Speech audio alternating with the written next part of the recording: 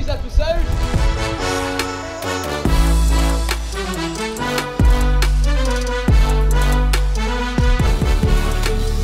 It's a battery on steroids.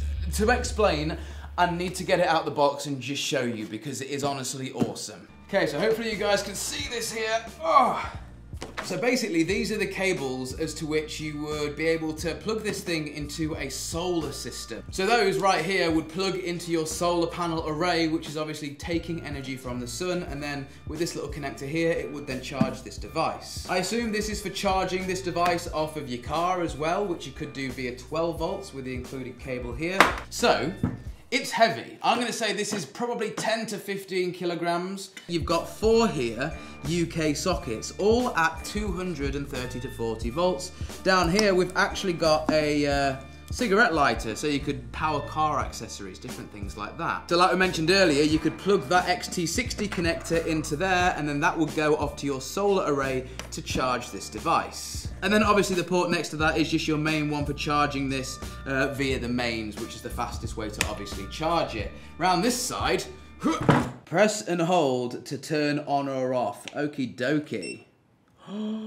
there we go. Okay, one phone on charge. iPad on charge. Uh, with so many ports on this, four phones here. Okay, S20 on charge. Old Honor phone on charge. Huawei on charge the Google on charge. Okay, so we've got an iPad, an iPhone, and four other Android phones on charge. My laptop. Okay, so this is the first of our four UK sockets. Laptop charging. One, two, three, four, five, six, seven, eight, nine, ten devices all plugged in, all ranging from small power things like phones to mid power things like iPads to MacBooks to actual gaming laptops to a softbox. So we are currently pulling 300 watts. I can't believe all this stuff is on charge. Let's go and build a gaming setup in a field.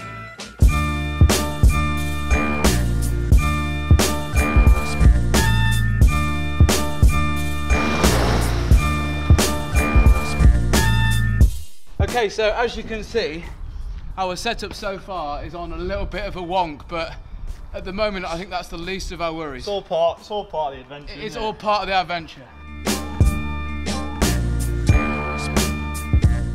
Okay, the last few pieces we have my Logitech G Skill keyboard. That's Matt. Obviously some headphones, Astro A50s. Okay, so as you can see, we have completely, well, round here look, filled our EcoFlows, four power sockets, and we also have a router here, obviously for some internet connection. So let's start up our back bunch of sockets. I heard it go. I heard it go, bro. Oh, man. 138 watts, 165 watts. Screens? Oh my god. what are we playing? Bit of Apex? Okay, the one last thing we need to complete this setup is an internet connection. So for that, I have this Ethernet cable. It is literally like we're at home. Ethernet in. Okay, so unfortunately, I'm copping out of this screen because, well, basically I forgot the power cable for it. But we didn't really have the space for it anyway. It doesn't really matter. Look at that. Who needs more? Who needs more than this? That is a 34 inch ultra wide, mate. Sorted. Look at that. Now we've now we've got room for the speakers and everything properly. Look, we've got internet. We've got actual internet out here as well. Let's do a speed test. Right. Well, it's uh, yeah, it's safe to say we do some gaming then.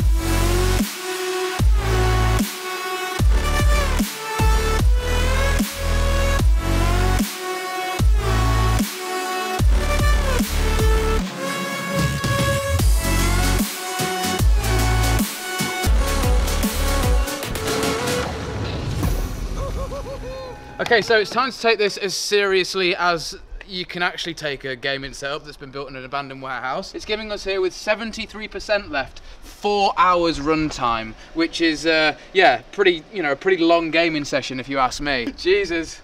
But you know, bucket list stuff, isn't it? Building a gaming setup outside. I, I mean, it's on my bucket list. It's not now. I've ticked it off. Done. Now, I've been taking it around my house, and there literally isn't anything that I've struggled to power with this. The most power-hungry thing I think I own is this kettle at about 1,800 watts. Now, I've turned the unit on. Inside of here, there is a 1,260 watt-hour battery. Now, one thing I really like is obviously you've got your DC power at the front, which you can turn on with that switch, turns on all the USB, and then at the back here, we've got our AC switch. Now, you'll be able to hear the fans ramp up inside of this EcoFlow, and that is because we are literally drawing 1,700 watts from the battery inside of here.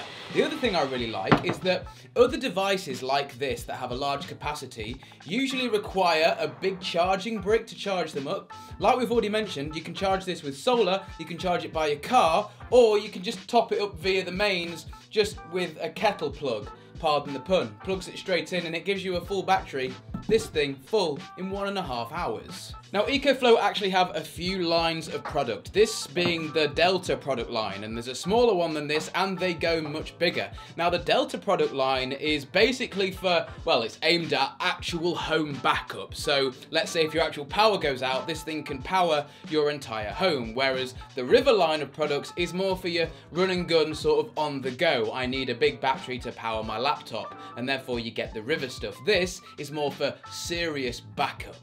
You can just really tell with this product that EcoFlow have spared absolutely no expense, all the way from, well, the rubber grip on the bottom to stop this thing from sliding around to the separate isolated power supplies for both DC and AC on their corresponding sides. If you've got this, it's going to do the job and it's going to do it well. I think EcoFlow are really onto something here and they also make a whole range of smart home products so you can actually make these things power your entire house, which is something I want to look at in the near future because this thing is honestly awesome. For the first 20 of you guys that click the link in the description, there will be a cheeky coupon code for you down there. Like I say, more links below that like button. But for now, guys, this has been the EcoFlow Delta. It's an awesome piece of kit, and I really recommend you guys check it out. Anyway, my name's been Alex, this has been TechFlow, and we'll see you in the next one. Peace.